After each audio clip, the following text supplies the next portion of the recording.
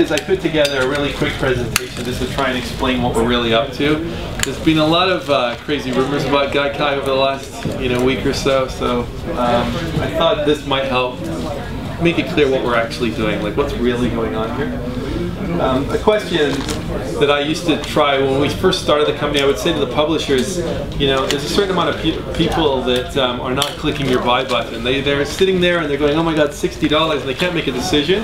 Just let us have a go at those people. You know, the ones that didn't click buy, just let us use some cloud gaming on them and see if that if that helps. And, and, um, and so how are we going to do it? The answer is we surveyed over 20,000 gamers and we asked them the question, what influenced you most in the decision to buy a game? It doesn't matter what way you ask gamers this question, you can phrase it any way, you can hide the question any way.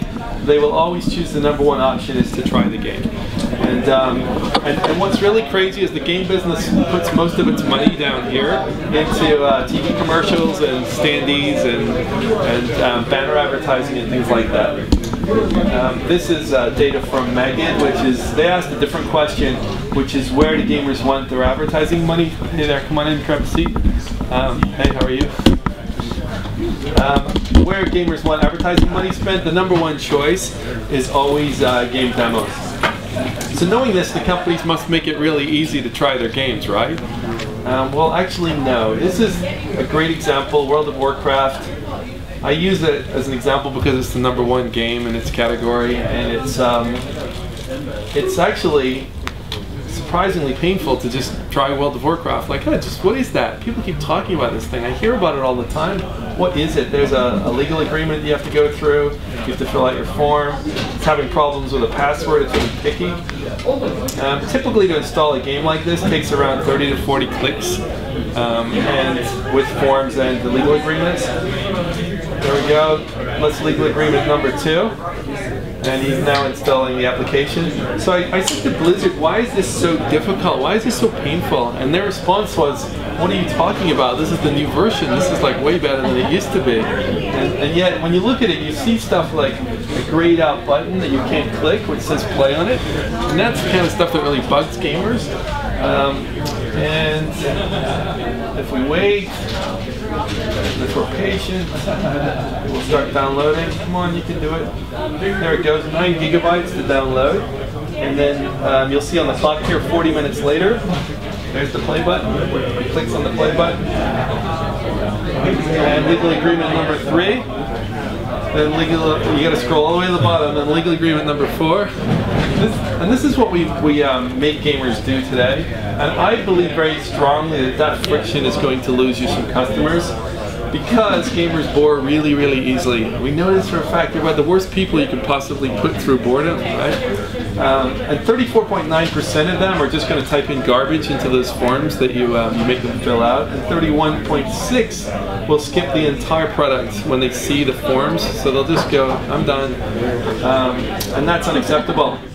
The big elephant in the room is the moving of data. If data's over there and I have to move it over here, that's the problem. And, and even for uh, like just one gigabyte, it can take um, quite a lot of time.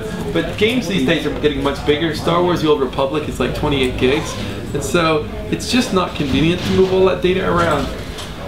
Instant is then um, only possible if you do it directly from the cloud, and so there's to do this, we wanted to use uh, you know other people's servers. Is there some way that we could just use the networks that are already out there? And but there wasn't there wasn't a network that was 3D. You know, with 3D servers all over the country, so we had to build it ourselves. We built the servers. Intel invested, Qualcomm invested, and NVIDIA we're working incredibly closely with. We were just in their in their keynote, and um, and we've built the fastest interactive um, network in the world. These are data centers, and these are uh, the gamers that are connecting. Uh, and we're live in 88 different countries. So the, the question is, what if we could remove all the friction from the game? Like if you just took it all out, what would that actually look like? I'm just going to wiggle this by the way to keep you awake. Um, um, but um, here's what it looks like. This is World of Warcraft running on iPad. And you can see one finger lets you um, look around, two fingers lets you run, and the third finger lets you jump. And so this is the full game, no modification whatsoever, um, just running wirelessly on an iPad. And that's a good example of, of I mean, I really wouldn't want to, to download and install the whole of World of Warcraft when the expansion packs into my iPad, but I'd love to be able to play it on there. And that, that's that's one of the key differences. And this is the right time because there's 1,068 games launched on the PC last year, and for you to have any kind of sort of amount of those that you're going to have played is going to be it's going to be really really high, high friction. Um, here's an example on uh, Popular Mechanics magazine. I saw this image and I sat there going, wow, the, the chainsaw business is totally screwed. Look at all these different, uh, they're all looking exactly the same now. They're, they're all the same color. Um, and you have to read into the details if you want to understand what's different. And this one over here, just in case you're wondering, happens to be the best one. Um, so wouldn't this be lame if this happened to the games business? Can you imagine that? And, and yet, coming out of E3 last year, the press were saying they couldn't uh, they couldn't spot one first-person shooter from another because they were starting to look the same. And so this is the problem as genres mature is for you to try all of these games and find the best one for you is actually incredibly painful and it's every genre is the same way. So it's just it's not just first-person shooters that is painful. So gamers just want to taste, and um, currently they tend to plan their day around like I'm gonna I'm gonna start the download. I'm gonna go eat my dinner, and then I'm gonna come back and play, or I'm gonna download three at once, and I'll come back tomorrow, and they'll all be ready for me to play. Um, and that's got to go away. So we we've been working on a technology called cloud delivery, which is a way to get the files in as fast as a way possible from A to B. So this is this is really for the people who don't have great broadband. But I'll show you an example of it working. This it, it's quite surprising because it's not actually installing an application on your computer. This is a web page. Um, you can see the URL, and that, that web page is downloading directly into the computer. And I'll show you, um, if I skip forward here, just to, to let you see a little farther along. Get my mouse again, there it is on, you can do it to about there. You can see, uh, you can have uh, the developer talking about their product while it's while it's actually doing the download cycle. And so in just a few minutes, you can be playing the game locally. This was one click to get to this point on the website. You said yes, and then the second click is sure, go ahead and start the game, and um, and it launches the game locally. So this is cloud delivery. And this is a technology we now we now have available. It's called nonlinear, asynchronous, progressive, crowdsourced, proximity accelerated file delivery, or NOLA for short. and, um, and but cloud gaming really is for us the, the holy grail. That just means play now. And the idea that you can jump into a game and have graphics that your local machine just can't handle, or, or you could be playing a game like this at your office, um, is super cool. So the difference is cloud gaming is under a minute, cloud delivery is around five minutes, and traditional downloads 40 minutes plus, depending on what you play.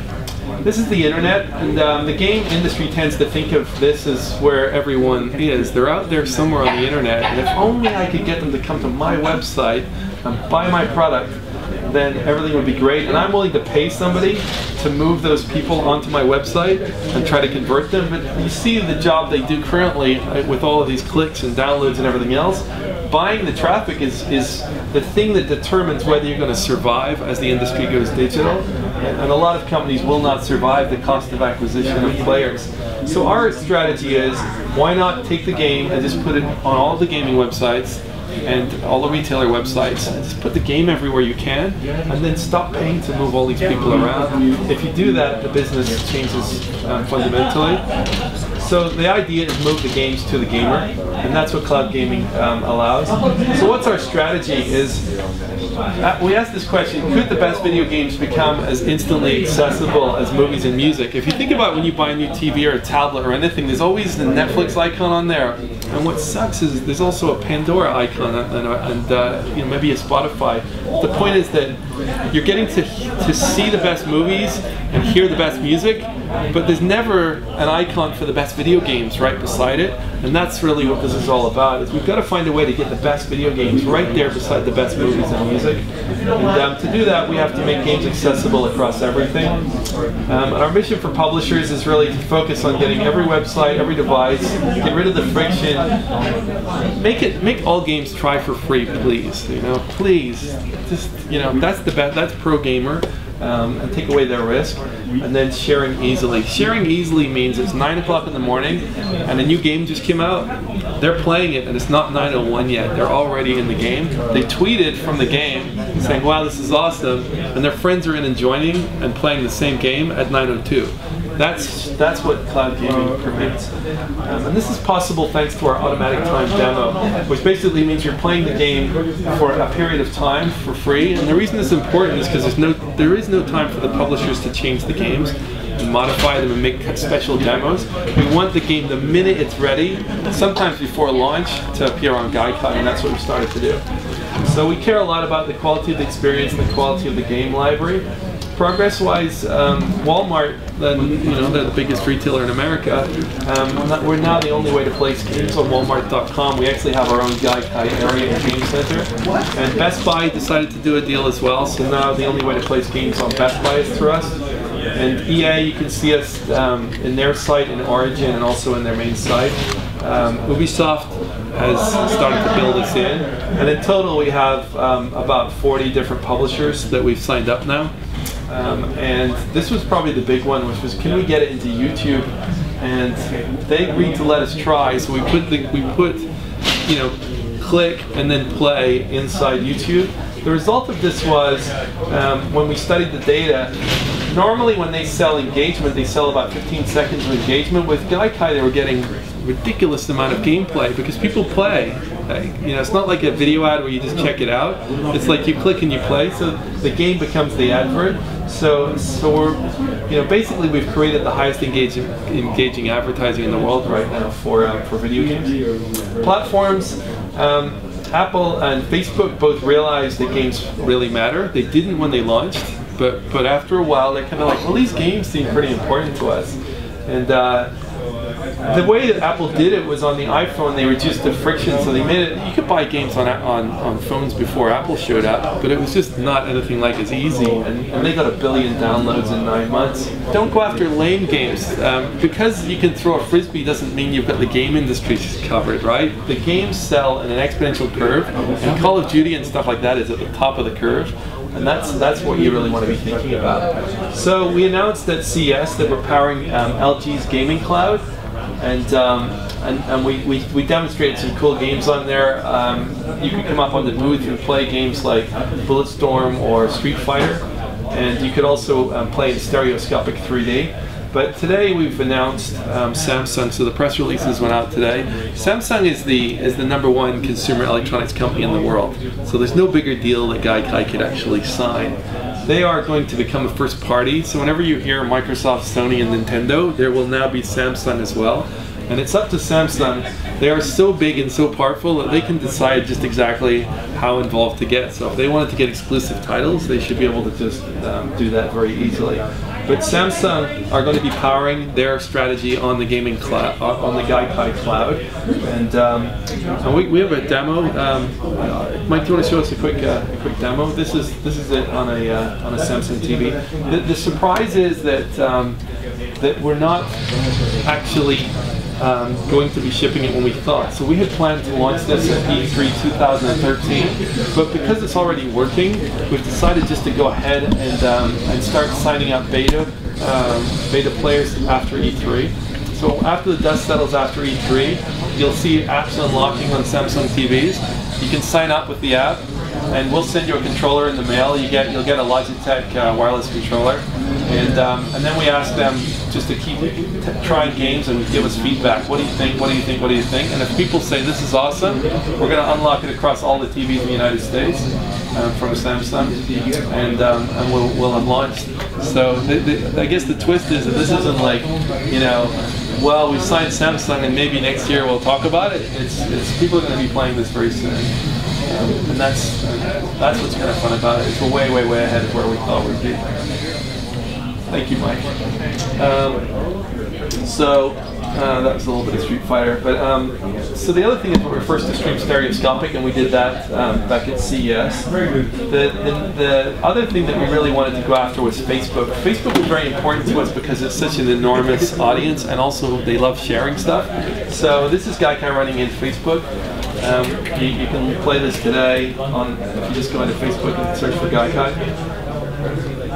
And you'll see. Um, it doesn't matter what the game is. This is Dead Rising 2 from Capcom, and you can grab the screen and resize it so that you can. The game really does play within the canvas page of Facebook, so it really feels like it's part of Facebook. We don't even explain to gamers anymore how this is possible.